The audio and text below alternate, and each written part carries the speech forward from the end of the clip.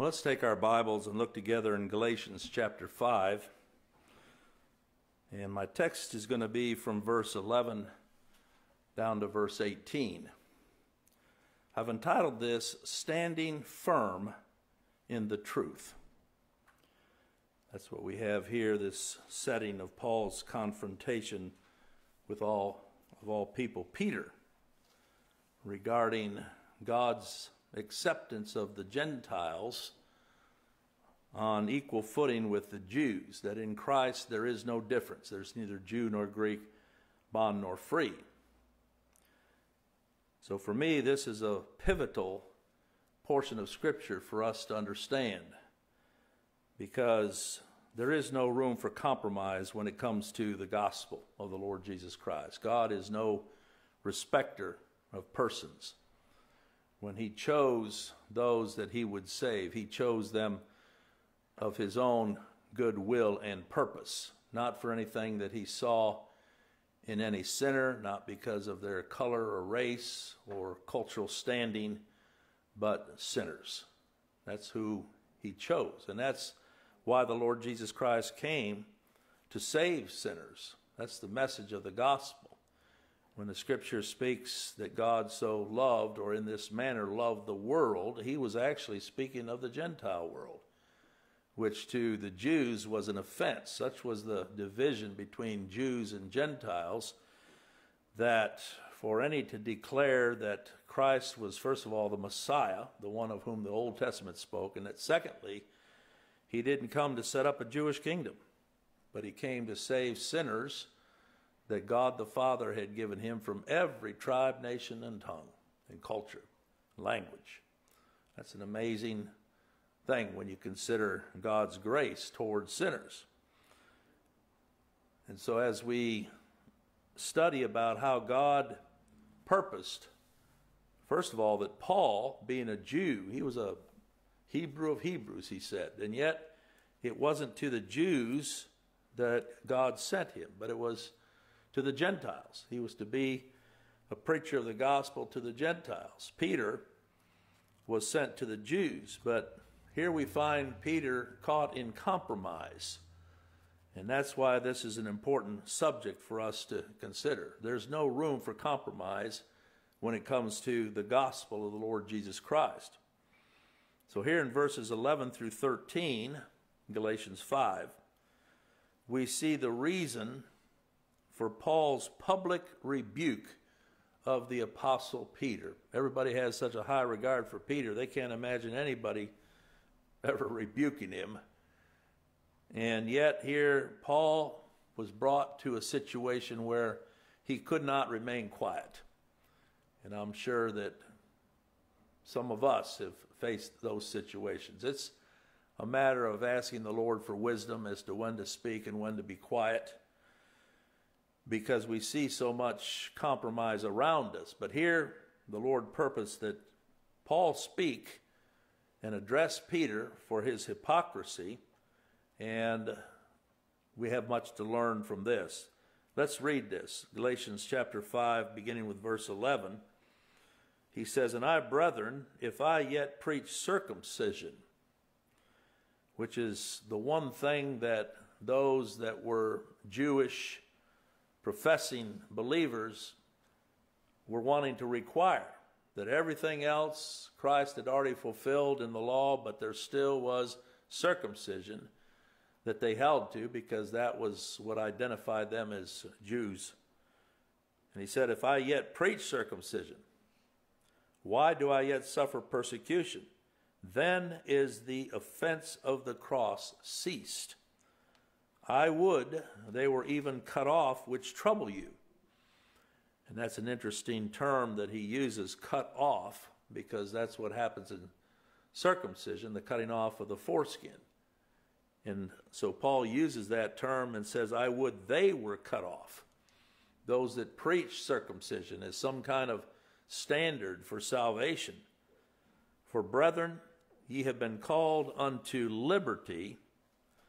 Only use not liberty for an occasion to the flesh, but by love serve one another. For all the law is summed up in one word. All the law is fulfilled in one word, even in this Thou shalt love thy neighbor as thyself. But if ye bite and devour one another, take heed that ye be not consumed by one another. And this I say then walk in the Spirit, and ye shall not fulfill the lust of the flesh. For the flesh lusteth against the Spirit, and the Spirit against the flesh, and these are contrary the one to the other, so that I so that ye cannot do the things that ye would. You're probably wondering why I'm reading out of Galatians chapter 5. Well, that's because that's what I wrote down here. But the text is actually Galatians chapter 2. So let's go back there. We can start over. All of this is good.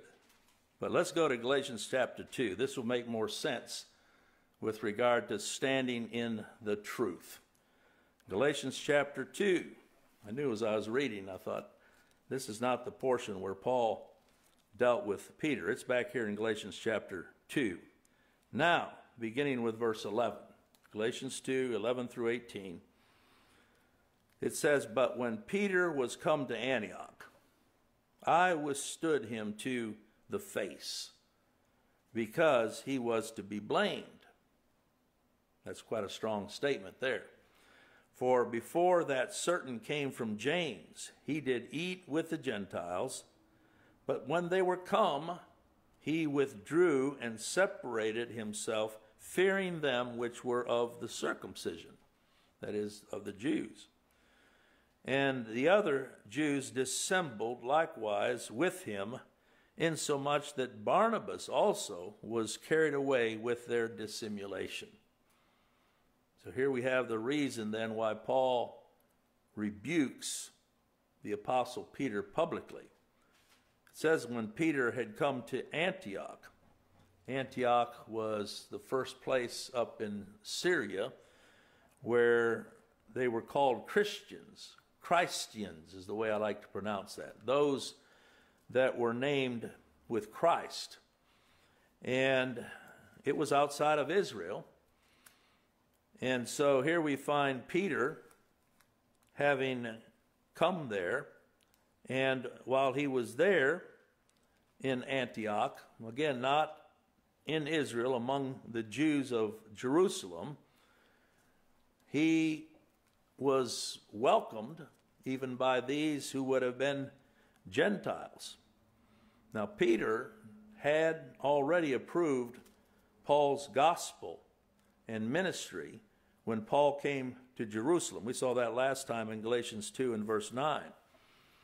It says, And when James, Cephas, and John, who seemed to be pillars, perceived the grace that was given unto me, they gave to me and Barnabas the right hands of fellowship that we should go unto the heathen and they unto the circumcision. So it wasn't that Peter even questioned here that the gospel should be preached to the Gentiles. It was clear that that's how God had raised up Paul, that he might so do. And God used Peter himself even to welcome Gentiles into the faith without any precondition. So Peter had already had this encounter. If you remember, go back to Acts chapter 11 and verses 1 through 18. This is where the Lord gave Peter a vision that he should go into the house of Cornelius, who was a centurion, a Roman centurion. And you can see how it begins here in Acts 11, giving you some context that's important here. And the apostles and brethren that were in Judea heard that the Gentiles had also received the word of God. So those in Judea, down in the region around Jerusalem, had heard that the Gentiles had also received the word. And when Peter was come up to Jerusalem, they that were of the circumcision contended with him. It's a different contesting than we have over here with Paul confronting him. Here it says, saying, Thou wentest into men uncircumcised and didst eat with them. And Peter rehearsed the matter from the beginning and expounded it by order unto them, saying, I was in the city of Joppa praying, and in a trance I saw a vision, a certain vessel descend as it had been a sheet, a great sheet, yet let down from heaven by four corners, and it came even to me. Upon the which, when I had fastened mine eyes, I considered and saw four footed beasts of the earth, and wild beasts, and creeping things, and fowls of the air. And I heard a voice saying unto me, Arise, Peter, slay and eat. But I said, Not so, Lord, for nothing common or unclean hath at any time entered into my mouth. The voice answered me again from heaven, But God hath what God hath cleansed, that call not thou common. And this was done three times and all were drawn up again into heaven. And behold, immediately there were three men already come unto the house where I was sent from Caesarea unto me. And the Spirit bade me go with them, nothing doubting. Moreover, these six brethren accompanied me, and we entered into the man's house. Peter, as a Jew, this may well have been the first time he ever had gone into a Gentile house. And he showed us how he had seen an angel in his house, which stood and said unto him, Send men to Joppa and call for Simon, whose surname is Peter, who shall tell thee words whereby thou and all thy household shall be saved, delivered from darkness. And as I began to speak, the Holy Ghost fell on them as on us at the beginning. Then remembered I the word of the Lord, how that he said, John indeed baptized with water, but ye shall be baptized with the Holy Ghost. For as much then as God gave them, this was the conclusion. I'm reading all this to show you that Peter knew better. Because this had clearly been revealed. For as much then as God gave them the like gift as he did unto us, who believed on the Lord Jesus Christ, what was I that I could withstand God? When they heard these things, they held their peace and glorified God, saying, Then hath God also to the Gentiles granted repentance unto life. Repentance means eyes to look to Christ alone as their only salvation. So it wasn't that Peter was ignorant when here he's found among these Gentiles in Galatians chapter 2, eating with them and not thinking anything of it until such time as some of the Jews showed up. And here we see a little bit of peer pressure, if you will. It says there, he withdrew and separated himself. Note the word, fearing those who were of the circumcision. I'll tell you, fear is a snare. And when it comes to standing for the truth of the gospel, fear has no place as a rival with the truth of the gospel. Even though Peter had been previously in agreement and welcoming these Gentiles into the congregation, even there in Antioch, without bringing them under the law of Moses. See, that's the thing that people wonder about. Well, is there some part of that law to which we are still obligated? And the answer is no. Because if you say that there is, then that means that Christ didn't finish the work. We're under the law to Christ. In other words, He is the one who came and fulfilled the law on our behalf, and we live in that freedom and liberty that He has wrought and bought for those for whom He died. But when Peter came to Antioch, and Antioch, remember, would have been Paul's home congregation because Barnabas went over to Tarsus and brought him to Antioch. And in Acts 13, that's where he ministered along with Barnabas for some time before they set them apart to go out and preach into the uttermost parts of the earth. So Paul had no problem, even though he was a Jew, with associating with these Gentiles that the Lord had brought into the church. But here, Peter was another story. He would associate with these so long as some of his Jewish brethren didn't come and put any pressure on him.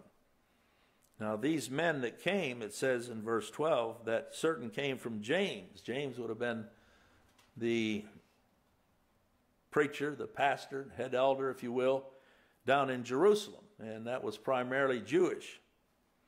And so when they came, before that certain came, he did eat with the Gentiles, didn't think anything of it. But when they were come, he withdrew and separated himself, fearing them which were of the circumcision. Knowing their background, Peter knew they would be offended. Because remember, Peter spent most of his time there in Jerusalem. He was an apostle to the Jews. And uh, he knew they would be offended with this fellowship that he was having with these Gentiles who had not come under the law. That's the thing about the Gentiles. They'd never been raised under the law. The law was primarily given to the Jewish nation. And so when Christ came, those for whom he died, he did not obligate them to become Jews, not even down to circumcision. They had always been outside of the law, and yet Christ fulfilled the law for them as much as he fulfilled it for the Jews. But these that would have come from Jerusalem in their prejudice in the back of their mind, they likely didn't even consider these uncircumcised Gentiles even to be Christians. Remember, that's what the great debate was there in Acts 15. Can they be saved if they're not circumcised? It's like people ask today can a person be saved without being baptized? Baptism is a big deal for many. Or can a person be saved without walking an aisle, saying a prayer, and uh, signing on the dotted line?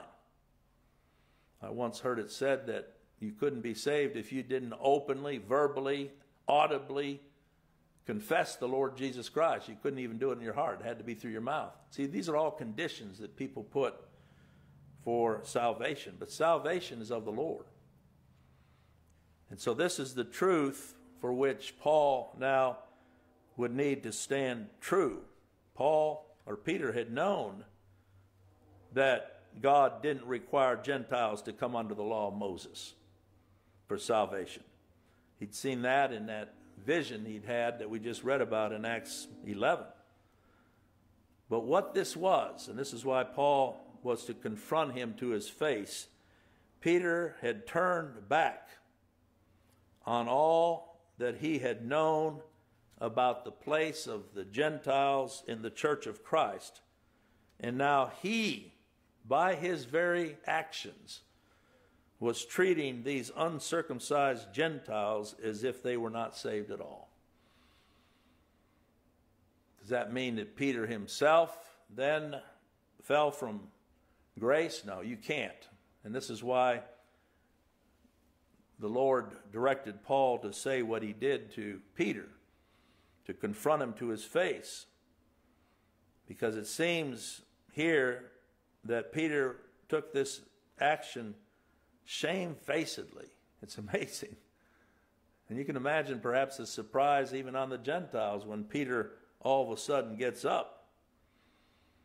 Here the words describe forcibly how Peter stood up, and when it says separated himself, I don't know how he did that. Maybe acting like he had something else to do at that particular time, but he could not hide. And that's why we read here Paul saying that he withstood him to his face because he was to be blamed there in verse 11. I withstood him to the face because he was to be blamed. This shows just how serious a matter this was, not only for Paul, but I believe for any of us that are children of God and taught by the Spirit of God, we're not to compromise. We're to stand for the truth as it is in Christ, and that is that in Christ there's neither Jew nor Greek, bond nor free. We're not to make racial divides as to who we associate with and who we don't. If a person is the Lord's and taught of Christ, then we welcome them as a brother. And it was such a matter here that it was an actual public confrontation. You see that in verse 14. But when I saw that they walked not uprightly, and he's speaking even of Barnabas. Barnabas is the one who had sought Paul and brought him over, introduced him to this congregation in Antioch. And yet, even Barnabas, it says there in verse 13, was carried away with their dissimulation. But Paul made it a public matter. He didn't just try to deal with this in the corner. I said to Peter, he says, before them all. Sometimes you have to do that. And I'm not sure exactly how that took place. I don't believe that Peter stood up yelling and or Paul stood up yelling and screaming, Peter, what are you doing? But this was a serious enough matter because it involved the eating together. It says, before the certain men came from James, Peter would eat with the Gentiles. Eating in that culture meant oneness. You didn't eat with enemies. And uh, yet, when they came, Peter withdrew and separated himself. This separation was probably at some meal that the congregation was having together, like we do. Once a month we gather and we celebrate the Lord's table, and then we enjoy a meal together, different ones bringing in their food.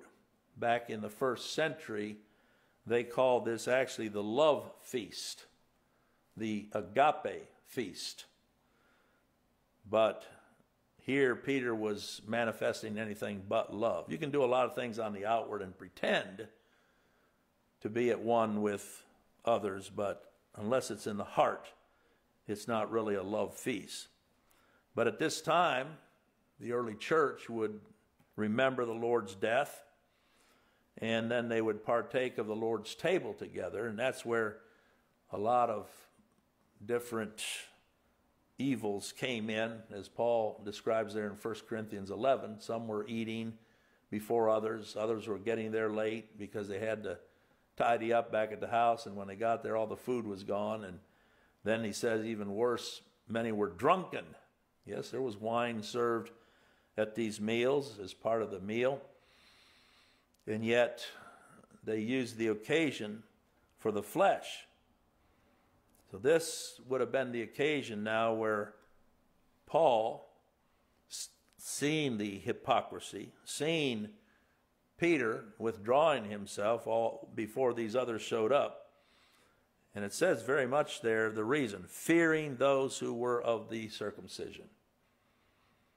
That explains why Peter did this. It's not that he doubted the truth as it is in Christ, that indeed Christ had redeemed a people from every tribe, nation, and tongue. That's clear. That had been made clear to him already. But out of fear, that's why the scriptures say the fear of man is a snare.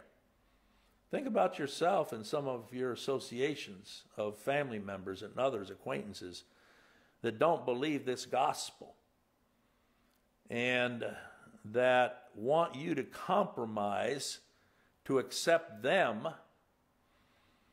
because they want to be seen just as much saved, is what they call it, as you are. But out of fear of offending, you don't say anything, even though you know they are clearly not standing in the truth as it is in Christ. But here was a different situation. Here were these gathered that God had called out by His Spirit of the Gentiles. And yet, out of fear, even though for a while Peter ate with them, sat down and ate with them, yet at a given moment now he stood up and withdrew himself out of fear.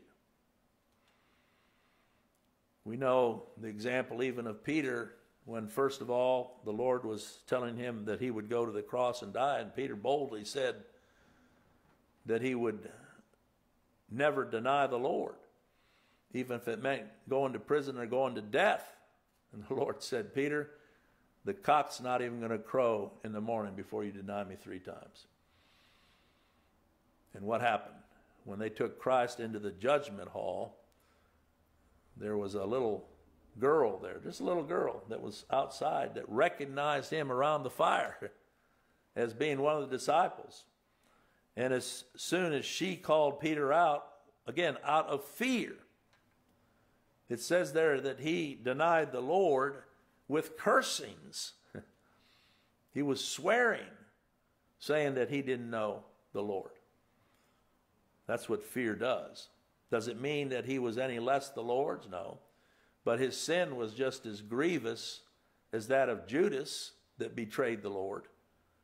You say, well, what's the difference? Well, Christ told Peter, I have prayed for thee, and when thou art converted, go and encourage the brethren.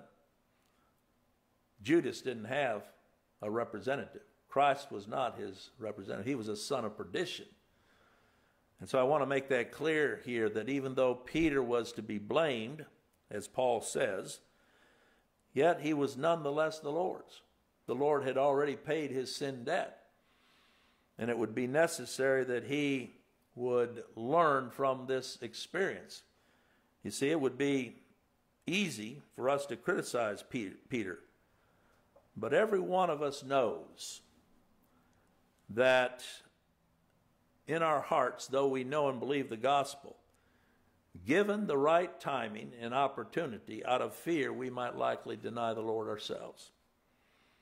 And yet, I'm thankful that the Lord never abandons us. And I'm thankful that even here, He brought the Apostle Paul to confront him to his face. I believe this would have been a loving confrontation.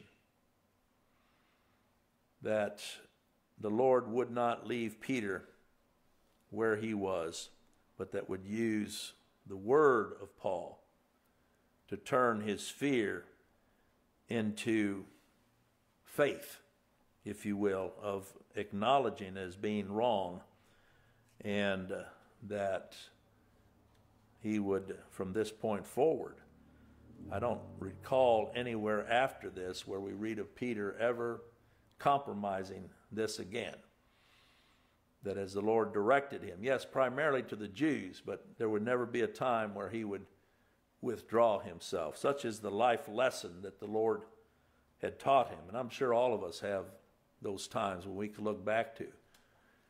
That those life lessons have made us stronger in the faith and uh, uncompromising, unwavering. We don't know what it was about these certain men from James. There's a reason that it's mentioned there in verse 12. Before that, certain came from James. Every word of Scripture is important and it's there for a purpose. What was it about these certain men that made Peter afraid? Perhaps they were men of strong personality and as strong as what Peter thought he was, yet he wasn't as strong as he thought he was.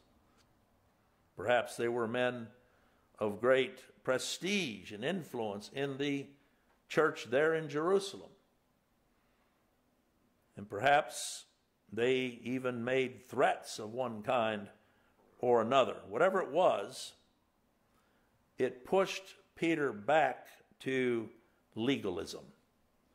And I will tell you, there's no greater danger for any of us than to have people of influence that when they begin to pressure us, they force us back into a legalistic spirit or legalistic thinking. You say, what's legalism? Well, it's assuming that there's some part of that law that we still must fulfill in order to have acceptance before God? And the answer is no. That's why Paul later in Galatians chapter 5 said very strongly, Stand fast, therefore, in the liberty wherewith Christ hath made us free. You know, the number one thing that legalists hate is liberty. That's the way the Pharisees were. They didn't like our Lord Jesus Christ telling the sinner, Your sins be forgiven you, because they had all of these conditions by which they would impose on these who were weak and make them think that apart from following those rules and regulations that they couldn't have acceptance with God. That's a terrible state to be in. That's why Paul says, Stand fast, therefore, in the liberty.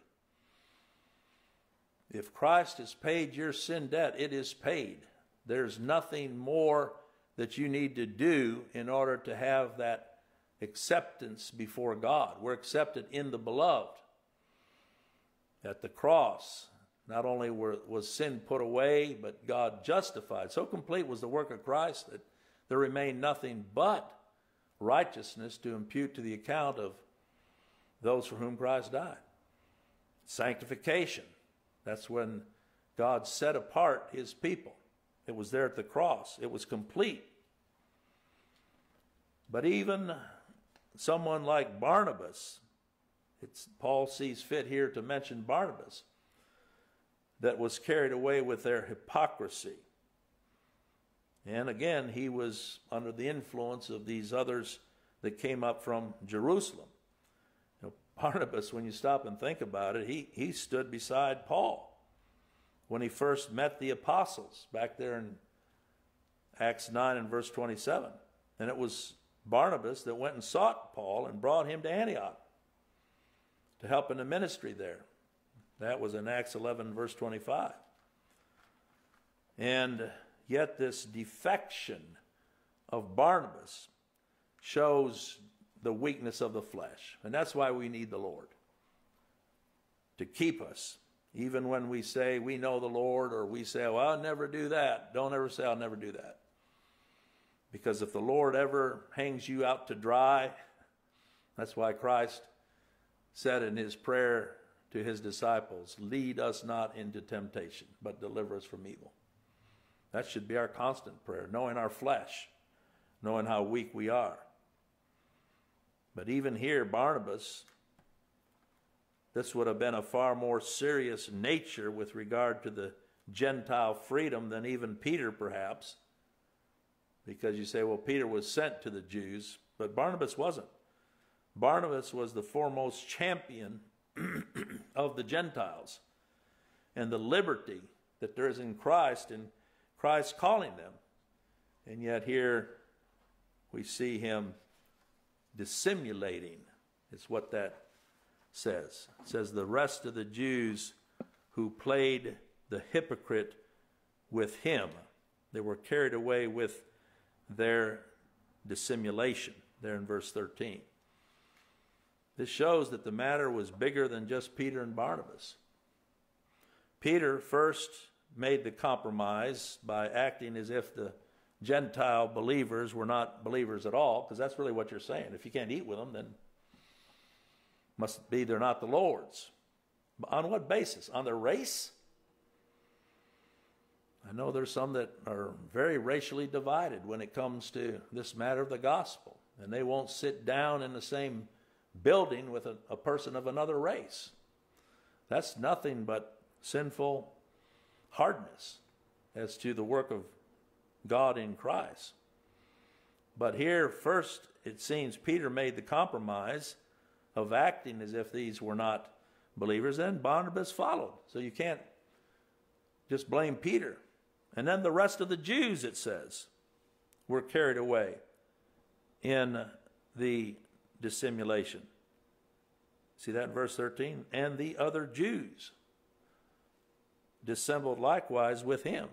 So it wasn't just that Peter was there amongst these Gentiles and they were all Gentiles and it was just Peter and Barnabas. There were other Jews already meeting together for worship that all of a sudden, you can imagine, standing up and separating themselves and the shock of those that were Gentile believers. When it says to dissimulate there in verse 13, it literally means to play the hypocrite or to be carried away with their hypocrisy. It's interesting that the word hypocrisy means one who puts on a mask. In other words, an actor. Back then, if a certain actor had to play several parts, he'd go off stage and then he'd come on with a different mask. So he was playing different parts. That's what the word hypocrisy means. So in this case, Peter, Barnabas, and the rest of the Jews in this congregation all were acting. I will tell you, there's nothing worse than acting before God or men. You know, people come in and they play at worship. They act as if they're one thing, and yet, like Christ said, they honor me with their lips, but their heart is far from me. So that's why this is such a serious matter to deal with. And that's why Paul, in verse 14, confronted Peter publicly. It says, When I saw, verse 14, that they walked not uprightly according to the truth of the gospel. That's really what we're looking at here. Standing firm in the truth of the gospel. I said unto Peter, Before them all, if thou, being a Jew, livest after the manner of Gentiles and not as do the Gentiles, why compellest thou the Gentiles to live as do the Jews? That's a good question. When Paul saw this at the very foundation, this wasn't just an issue of seating arrangements at a church dinner or table manners or being a good host. No at the very foundation, it had to do with the truth of the gospel. You say, well, how can something like that be so vital as it affects the truth of the gospel? Well, it's because the truth of the gospel declares that in Christ there is neither Jew nor Gentile, bond or free. We're going to see that more when we get over into Galatians chapter 3. That's the conclusion there in verse 28. There is neither Jew nor Greek.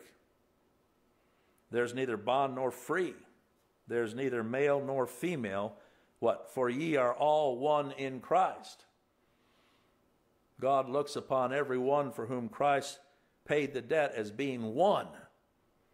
So don't you dare come with your prejudice or divide or looking down your nose at this group or that group, thinking somehow they are lesser citizens of the kingdom than you are.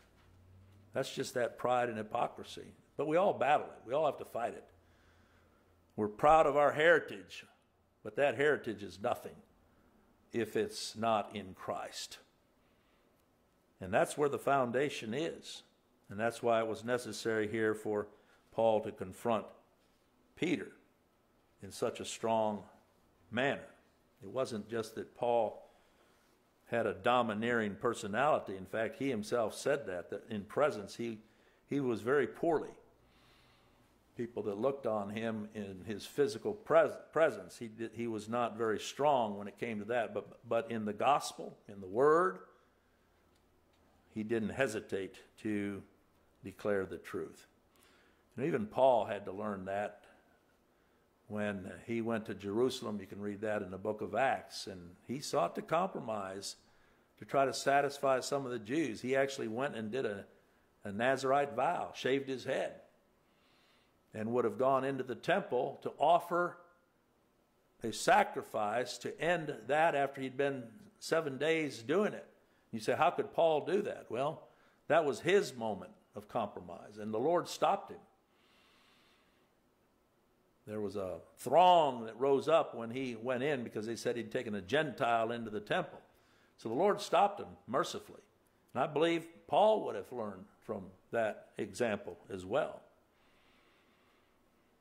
But here, Paul, the Lord purposed that he expose Peter's hypocrisy in what? Appearing to live under the law. You can't be under the law and at the same time under grace. That's what the gospel of liberty tells us. Either the law has been fulfilled or it hasn't. And if you say it hasn't, and if there's one part of that law still to be fulfilled in order to find satisfaction with God, then Christ accomplished nothing. You see that over in Galatians chapter 2 and verse 21. At the end of this chapter, I do not frustrate the grace of God, for if righteousness come by the law, any obedience to the law, requirement of the law, then Christ is dead in vain. What you're saying is the work of Christ accomplished nothing at all. And that's what I say to people that say, yeah, Christ died, but it still requires your decision in order to make it effectual. Well, if that's the case, then that means that the death of Christ has nothing to do with salvation if it requires you to complete it.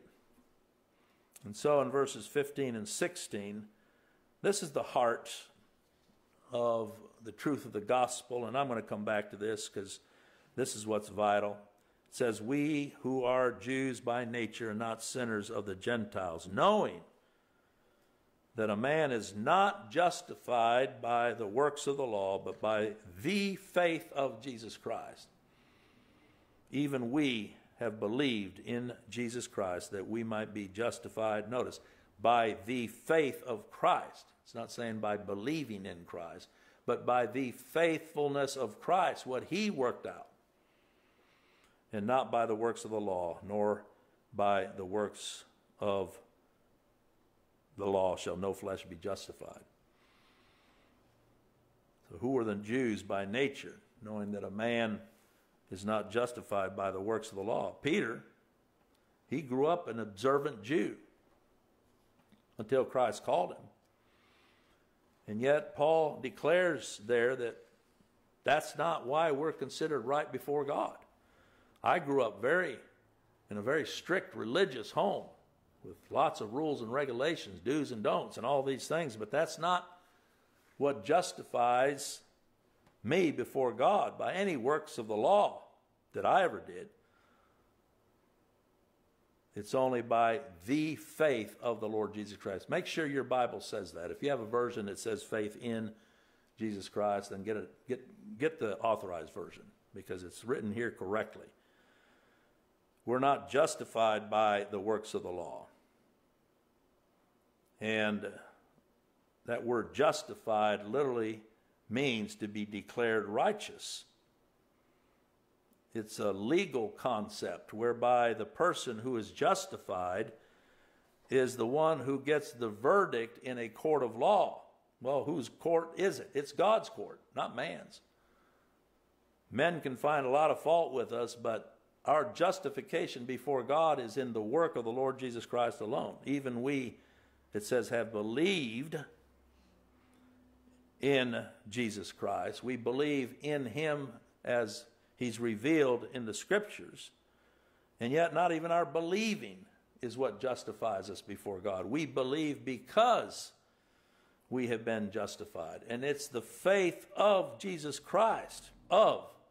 It's of him, it's by him, it's through him that those that he has redeemed, he has justified, that we might be justified by the faith of the Lord Jesus Christ. That's the clear emphasis there. We're not justified by being under the law of Moses. If you find people wanting to put you back under the law, run for your life. But it's the faith of Jesus Christ. Now, we do refuse fellowship with people that don't believe this message, don't believe this gospel. Don't sit down with them and act like you're all one. You're not. But that wasn't the case here. Here were ones that had been taught of the Lord and believed that their justification was in the Lord Jesus Christ alone. And therefore they sat down to eat together and enjoy that fellowship. But oh, how a little bit of leaven can influence the whole lump. How a little bit of hypocrisy can mess things up when you see certain ones becoming arrogant and thinking, well, I can't eat with these because they're not of my kin or they're not of my my race somehow. It says clearly, by the works of the law, no flesh shall be justified. And uh, that's just the truth, as it is in Christ. By the works of the law, no flesh shall be justified. What makes the difference? It's the faith of Christ, not faith in Christ, but that faithfulness of Christ as the substitute whereby when he had finished the work, there remained nothing but righteousness for God to impute. We'll draw a line there and come back next time, Lord willing, pick up with this, where Paul says in verse 17, if while we seek to be justified by Christ, we ourselves are found sinners. In other words, compromising the truth. Is therefore Christ the minister of sin? God forbid.